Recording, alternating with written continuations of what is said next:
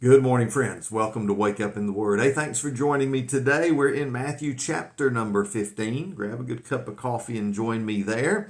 And uh, we'll do a quick devotional. We're in our last day at the Celebrators Conference in Pigeon Forge, Tennessee, with uh, over 6,000 other mostly senior adults just having a great time in the Lord. Thank you, Phil Waldrop and Phil Waldrop Ministries, for doing this. It's been a tremendous inspirational time. I'll talk about that a little more later. But today we're in Matthew chapter 15 in verse 32. This is an account found both in Matthew 15 and Mark 8. And it's about Jesus and feeding a large crowd again. No, it's not a repeat of Jesus feeding the 5,000. This is a separate event. Let's read about it. It says, Jesus called his disciples and said, I have compassion on the crowd because they've already stayed with me three days and have nothing to eat. I don't want to send them away hungry, otherwise, they might collapse on the way. The disciples said to him, Where could we get enough bread in this desolate place to feed such a crowd? But now you know at this point in the back of their minds, they've got to be remembering what Jesus did with the 5,000 men, women, and children in addition to the 5,000 men.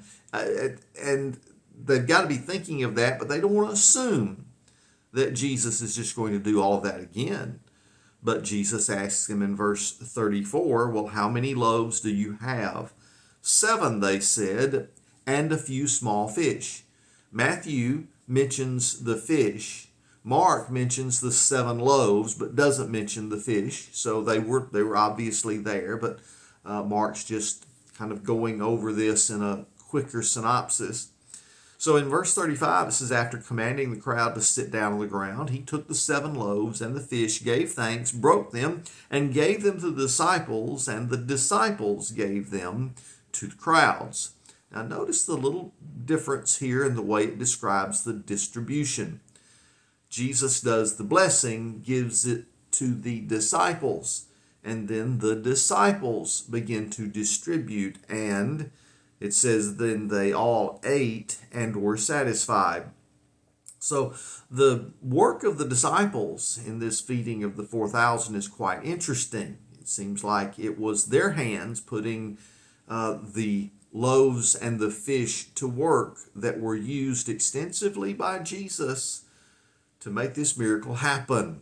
I think that's important to recognize that as we, as followers of Jesus, try to minister even in times of need right now, it's our hands, our feet, our work that does the work of Jesus. Well, it says that they all, again, ate, were satisfied, and they collected the leftover pieces, seven large baskets full. And now there were about 4,000 men who had eaten, besides women and children.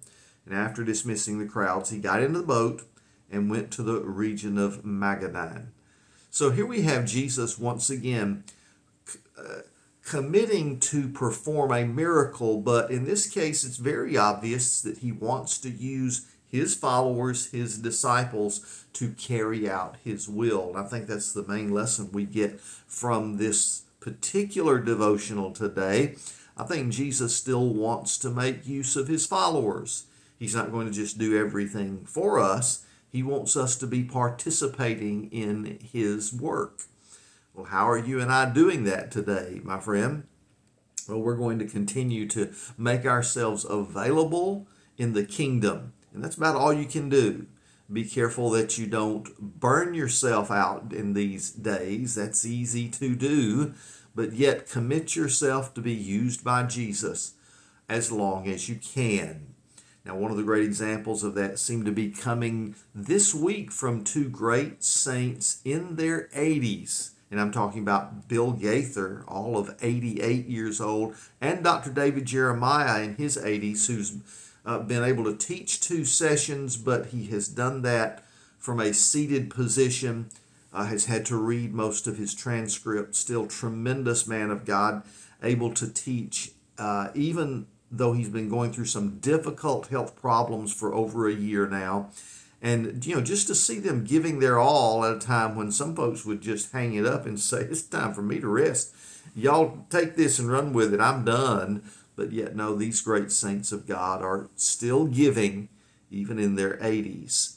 I think for the rest of us who now look at look at look around and say, you know, I thought I was old, but really I'm a youngster compared to some of these folks. Isn't it time for us to recognize that Jesus wants to use his followers in so many different ways? Well, how does he want to use you this morning? Hope you'll be paying attention and listening.